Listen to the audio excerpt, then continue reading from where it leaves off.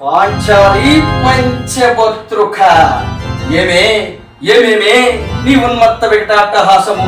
ఎంత మరువైత్రించును మరుపునకు రాక హృదయ శరీర మానవులైన నీ పరిహాసమమ్మలే మా కన్నపటమును వ్రయ్యలు చేయుచున్నవే.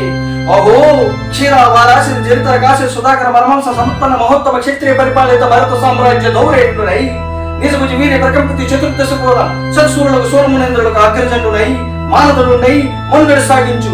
నన్ను చూసి ఒక్కడది పరిచారిక పర్వతి అయి పొగులుబడిన ఒకట.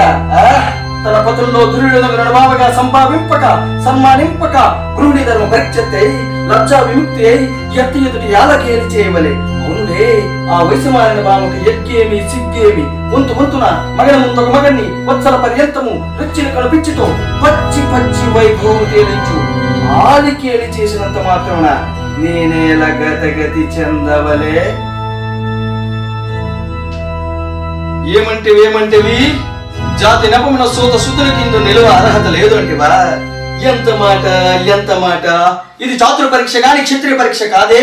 కాదు కాకూడదు. ఇది కుల పరీక్ష వద్దువా నీ తండ్రి భరద్వాజ జననం ఏంటిది? అటు జుగుప్సాకరమైన ఈ సంభవం ఏంటిది? మట్టి కుండలో పుట్టిదు కదా. నీది ఏ కులము? ఆ, ఆ, ఆ, ఆ, ఆ, ఆ. ఇంత ఎలా పితామహుడు గురుకుల శివసముద్ర భార్య గంగా గర్భమును జనించలేదా ఈయనది ఏ కులము మాతో చెప్పించింది ఏమయ్యా? మన వంశానికి మూల పురుషుడైన వశిష్ఠుడు దేవవేశ యొక్క వరసపుతుడు కాడా అతను పంచజాతి కన్యకు అరుంధతి అనే శక్తిని ఆ శక్తి చండాలకు ఎందు పరాశుని పరాశుడు పల్లె పడిచకు మత్స్యకించే మా తాత వ్యాసుని వ్యాసుని విధవరాండ్లైన పిత పితామహి అంబికతో మా తండ్రిని పిడ పితామహి అంబాలితో మా పినతండ్రి పాండురాజును మా ఇంటి దాసితో ధర్మ నిర్మాణం చేయడం నీతో కీర్తించబడుతున్న ఈ విదురదేవుని కనలేదా? ఈయనది ఏ కులము? ఆ,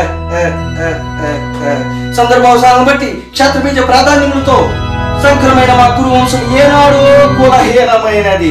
కాగా నేడు కులము కులము అను వ్యర్థవాదములేల ఏమంటివి ఏమంటివి? మానవ జాతి నీచమా? ఎంత మాట ఎంత మాట?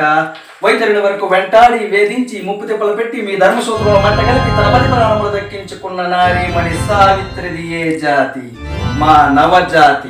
తన భక్తితో సాక్షాత్తు పరమశివుడిని ప్రత్యక్షముగా గావించి మీ పాశములు సైతం గట్టిపోచక నిలిచి ప్రాణహరులైన మిమ్మల్ని ప్రాణభయంతో పరుగులు పెట్టించిన పసివాడు మార్కండేయుడిదే జాతి?